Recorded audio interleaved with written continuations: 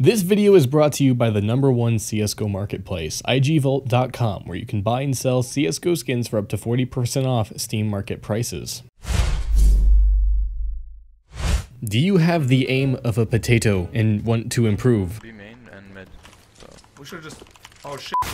Oh my. My name is Braden, and welcome to Valve Guide. CSGO requires more precision of aim than most other games in the entire world. So of course, improving your aim is one of the best things you can do to improve at the game. Of course, your aim alone will not make you the best player in the world, however, it will have a large role in your own personal overall skill. These are our top 10 ways to improve your aim. Starting off with number 10, download practice maps and set a routine. This is in our number 10 spot mainly because it's probably the most obvious thing to adopt on this list. Downloading practice maps and practicing is one of the best things you can do for your aim. You will not improve if you don't practice a bit, and I'm not saying you need to do this like two hours a day, just hop on a practice map and train your aim for like 30 minutes before a competitive game. Up to 30 minutes. Like it doesn't even have to be 30 minutes every time. Just set simple goals and routines, how many headshots you want with each gun while you practice, etc. At least devote a little bit of time into doing this each time you launch up CS. Coming in at number 9, fine-tuning your mouse settings. Again, this is higher up on the list because it is semi-obvious. However, the purpose of including this is to help those who may not have gone through their settings yet. Adjusting your Windows and CS mouse settings is a very important factor of precision, making sure you turn mouse acceleration off and just adjusting the sensitivity to exactly what you like is kind of crucial. It is simple and easy to mess with, but never underestimate the power of feeling more comfortable with your mouse sensitivity. It may not be the most important thing to do, there have been pro players that can just use whatever they're given as far as mouse sensitivity, but for others, sensitivity may determine how well you can play throughout a whole match. At number 8, practice in a community deathmatch server rather than vanilla Valve ones. A lot of new players just practice in casual deathmatch because it's all they know how to do. However, if you hop in the server browser and just type in HS or FFA, you can join a community server that is free for all and even headshot only. Playing headshot only matches is a fantastic way to warm up and tune your aim, and adding free for all to the mix just makes the whole experience a lot more fast paced. If you've never played on a headshot deathmatch server, brace yourself, it can be very rage inducing at first. You will die a lot, you will get spawn killed, and there will be impossible situations. You just have to get past that and focus on doing what you can to better your skill. Accept that fact, and you will die a lot, but it will definitely help you in the end. At number 7, make sure your crosshair isn't the size of the average Pawnee citizen.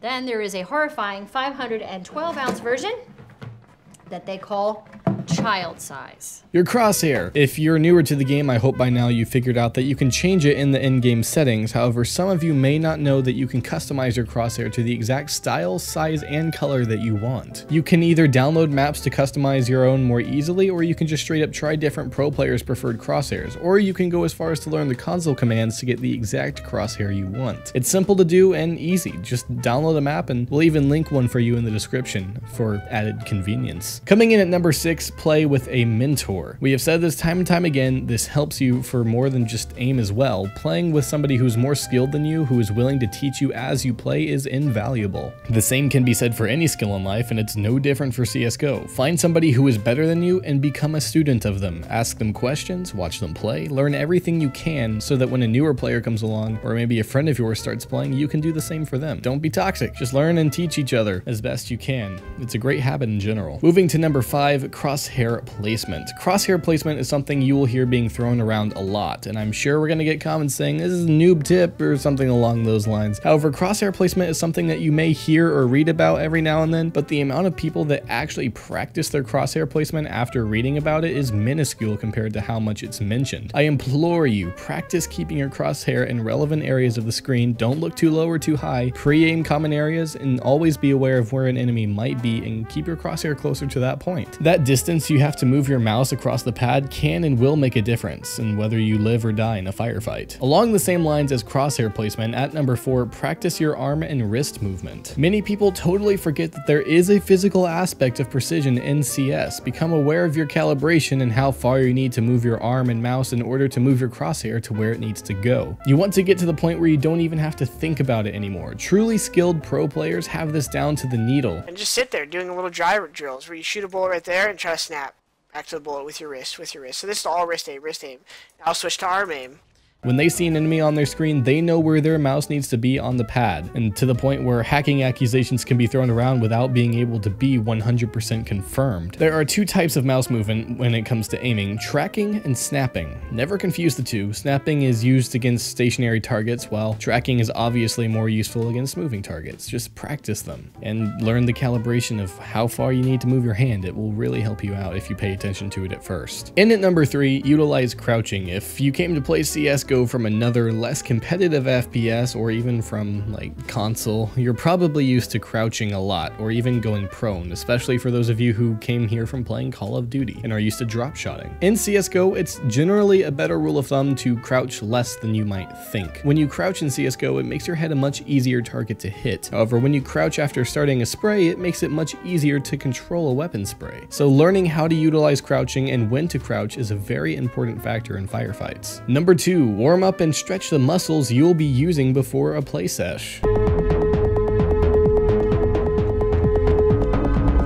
Now this is something that a lot of people neglect to do or have even failed to consider, which is understandable considering the stereotypes around gaming, but stretching and warming up muscles that you will use while playing the game is one of the most helpful things you can do. I, for example, have wrist pain, so sometimes it can actually hurt to type or play games, especially when tensions are high and I'm not really thinking about how much I'm clamping my hand down or messing with my wrist. Research some wrist and arm stretches and even finger exercises to warm up and loosen those muscles before you play competitively. It sounds silly and far-fetched at first, but before you throw the idea out the window, at least try it. It'll help prevent arthritis too. So, I mean, if that's not enough to make you want to try it, I don't know what will. It's helped me a lot. Concluding this list with number one, get your head right. Playing and practicing with intent and having the right mindset, being confident in your abilities, these are all very important factors to perform well in anything that requires a skill. So when you act out these tips in CSGO and you practice your aim, you put the time and effort into it, never forget why you're doing doing it. If it isn't worth the effort to you, then don't do it. You're not being forced to play the game. If increasing your skill is something you truly want to do, then go that extra mile. Make sure that your mind is in the right place and you're doing it for the right reasons. And of course, this isn't restricted to CSGO, that goes for anything. Find the passion, pursue it, and put in the effort and put in the time. If you want to be a pro player, do what you need to do to achieve that. Doesn't matter how stupid it seems to people. If you have the passion, gain the ability. And once you gain the ability, use the passion. After all of this, just make sure you're doing it for the right reasons.